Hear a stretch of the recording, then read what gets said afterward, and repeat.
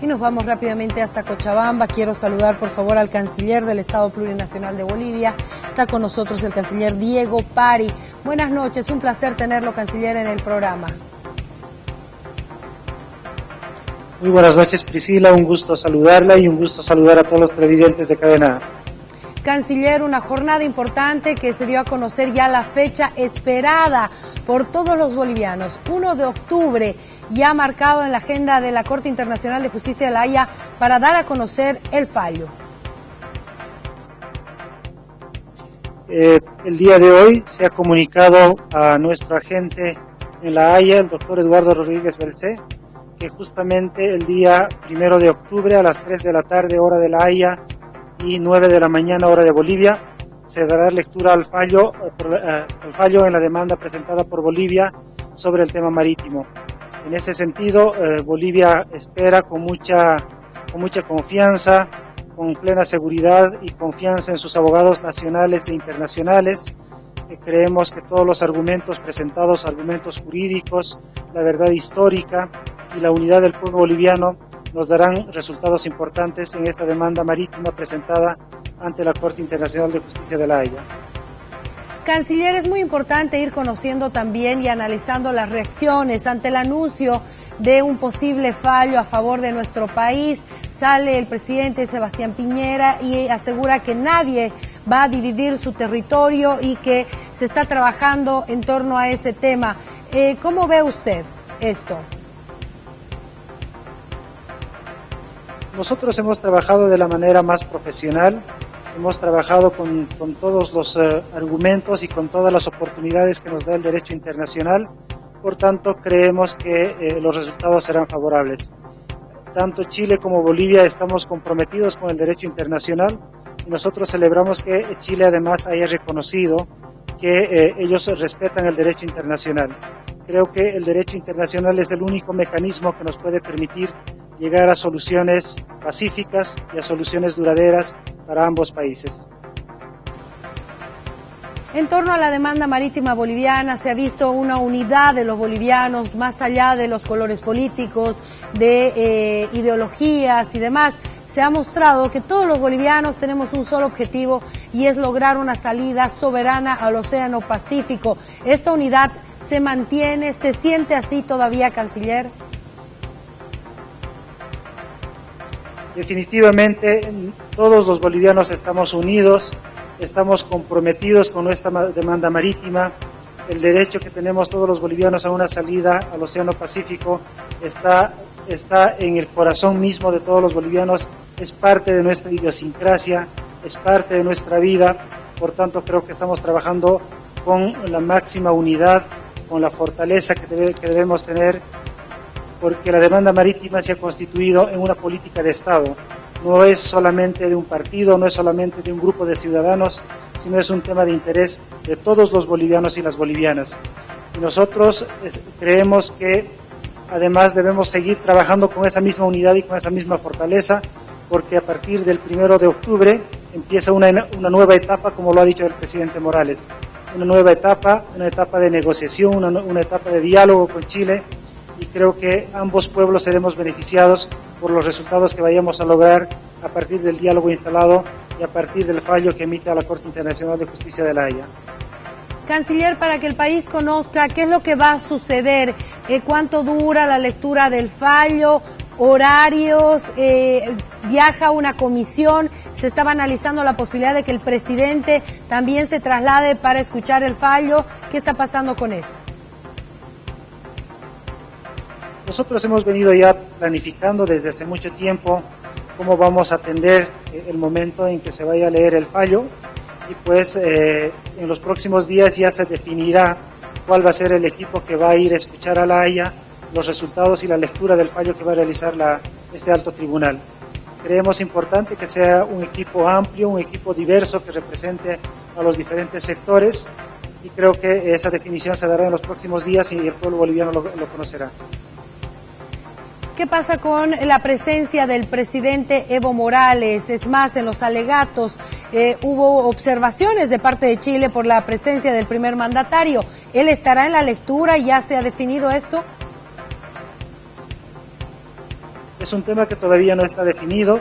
En los próximos días, cuando se defina todo el equipo, el equipo en su conjunto que va a asistir a la Haya para escuchar el fallo, seguramente también les informaremos eh, cómo va a estar conformado el equipo eh, que va a participar.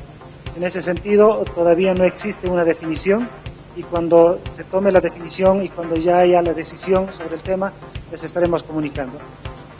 Bueno, tenemos algunas reacciones en torno a este tema. Por ejemplo, Carlos Mesa hoy publicaba en su cuenta de Twitter y decía, un largo camino, una demanda histórica, un fallo en puertas. Lo esperamos con confianza porque trabajamos como Estado, como equipo, sin improvisaciones y con coherencia.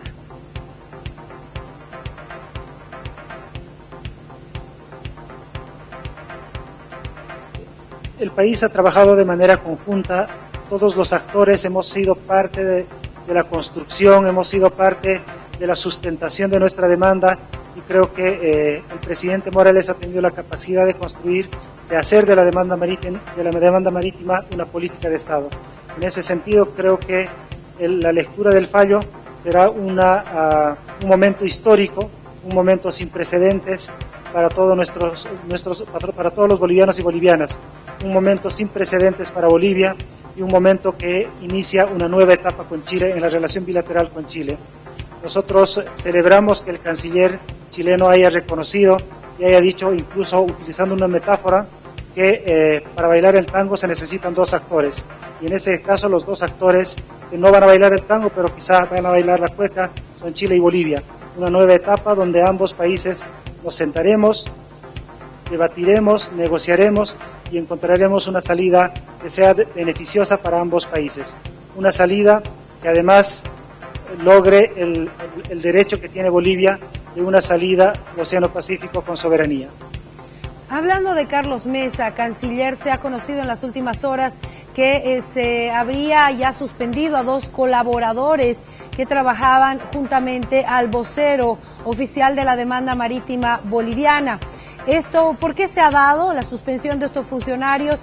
Y si Carlos Mesa sigue siendo el vocero de la demanda marítima boliviana o conociendo ya la fecha, esto termina ya con el trabajo del expresidente. Esta es una decisión netamente administrativa que ya se había realizado incluso antes de que mi persona asumiera la Cancillería, por lo tanto no, no afecta de ninguna manera en, toda la estrategia que se está trabajando. Creo que en este momento tenemos un desafío importante, que es prepararnos para el día de la lectura del fallo, preparar un equipo sólido y Diremar tiene toda la solidez eh, jurídica, toda la solidez técnica y toda la solidez profesional para enfrentar este momento. Bueno, quiero compartir con usted también algunas repercusiones, por favor, eh, solo para tener la idea eh, comprendida. Carlos Mesa se mantiene como vocero de la demanda marítima boliviana eh, hasta la lectura del fallo. Perdón, me repite, no le, no le escuché la pregunta. Le pregunto, canciller, si Carlos Mesa se mantiene como vocero oficial de la demanda marítima boliviana hasta la lectura del fallo. En este momento se está trabajando, como ya le había comentado, en establecer un equipo importante, un equipo representativo de los diferentes sectores para poder asistir a, la lectura del fallo. Y creemos que el equipo debe tener una composición diversa, con participación de diferentes actores, y eso es lo que se va a definir en los próximos días. Bueno, algunas repercusiones, por ejemplo, el expresidente Jorge Tuto Quiroga, quien fue parte de la comisión en los alegatos, decía, Bolivia aguarda con serenidad este fallo histórico para avanzar en nuestra reintegración al Pacífico con soberanía. Los demócratas también exigimos a la Corte eh, de la OEA determinar si la reelección perpetua en contra de la Constitución y referéndum del 21F es o no un derecho humano. Eh, ¿Qué criterio tiene en torno a esta repercusión y declaración del expresidente Jorge Tuto Quiroga? Creo que este pronunciamiento no tiene, eh, no merece ser comentado, no merece respuesta porque en este momento los bolivianos estamos concentrados, los bolivianos estamos unidos en torno a lo que va a suceder el día primero de octubre. El día primero de octubre será un día histórico, un día sin precedentes para el país y creo que el pueblo, el pueblo boliviano está unido, el pueblo boliviano tiene claridad en cuál es el objetivo fundamental de la demanda marítima boliviana creo que debemos seguir trabajando en esa línea, con las orientaciones de nuestro equipo jurídico y con las orientaciones de nuestro pueblo. Canciller, no le pido detalles porque obviamente por estrategia no lo va a hacer, pero Bolivia, el equipo jurídico, las autoridades están preparadas para lo que viene después del fallo, ya sea a favor o en contra de nuestro país. Es importante eh, saber eh, cómo se va a reaccionar. ¿Se tiene estas reacciones post-Haya? El equipo boliviano, el país está preparado para recibir y está con absoluta confianza de que el fallo será favorable a nuestro país.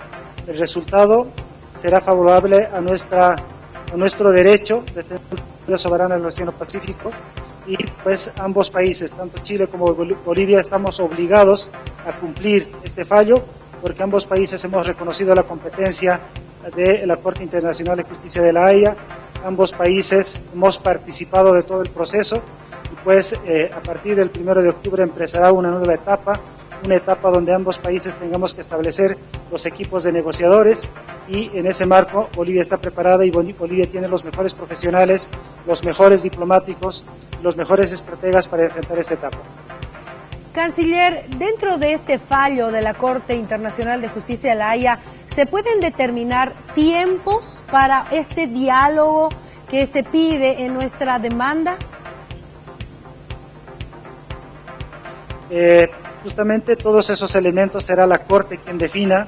Nosotros vamos a asistir con absoluta apertura para escuchar, comprometidos con con las decisiones de la Corte, con el derecho internacional, para cumplir cada uno de los términos y de las decisiones que la Corte vaya a tomar. En base a un protocolo que se debe cumplir, más allá de quienes viajen o no, eh, ¿qué es lo que va a suceder? Ya la gente nos daba una hora, la hora boliviana a las nueve, que se dará lectura. Esto eh, solo dura eso, la lectura de, del fallo, ah, se explican por qué se tomaron esas decisiones o solo se lee la, el fallo. ¿Cómo funciona? Nosotros hemos sido comunicados el día de hoy en la mañana por parte de la Secretaría de la Corte Internacional de Justicia de la Haya a través de nuestro agente de que la lectura se, se dará el día primero de octubre a las 3 de la tarde, hora de la Haya, 9 de la mañana hora de Bolivia y pues eh, prácticamente el tribunal solamente va a dar lectura al documento ya escrito y resuelto por ellos. Y tanto Chile como Bolivia solamente asistiremos para escuchar cuál ha sido la decisión que ellos han tomado. Y posteriormente ya será parte del trabajo, parte de la estrategia que cada uno de los países vayamos a establecer, pero ya será posterior a la lectura del fallo que se vaya a realizar. Canciller, ¿cuál sería el mensaje suyo, por favor, al país en torno a la expectativa de lo que va a pasar el 1 de octubre? Eh, porque todos los bolivianos estamos con esa esperanza de que este fallo sea en beneficio a todos y cada uno de nosotros. No nos van a decir mañana tienen mar, eso es muy importante que la gente lo entienda, pero esto definitivamente, definitivamente va a ser un paso histórico para esta reivindicación marítima boliviana. Usted lo ha dicho muy bien, de manera muy clara y muy precisa. Empezará un proceso, un proceso histórico, un proceso sin precedentes, pero la fortaleza que siempre ha tenido nuestra demanda desde el momento en que se había presentado en el año 2013, en abril de 2013, cuando se presentó, todo el pueblo boliviano estaba unido, todo nuestro pueblo trabajaba en un solo sentido, trabajaba con un solo horizonte.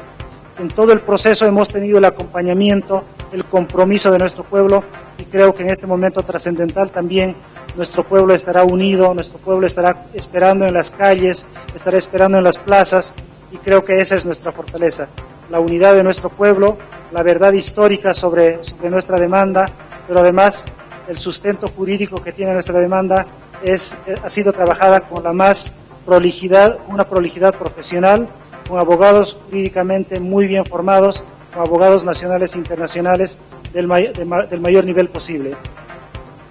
Le agradezco mucho, canciller, por haber estado con nosotros en todo a pulmón. Importante escuchar a la primera autoridad del Ministerio de Exteriores en este momento histórico para los bolivianos. Nos quedamos pendientes con los nombres, las personas que van a viajar, esta comisión que eh, seguramente será para reforzar la unidad de los bolivianos en torno a esta reivindicación. Gracias. Muchas gracias Priscila, un saludo a todo el pueblo boliviano.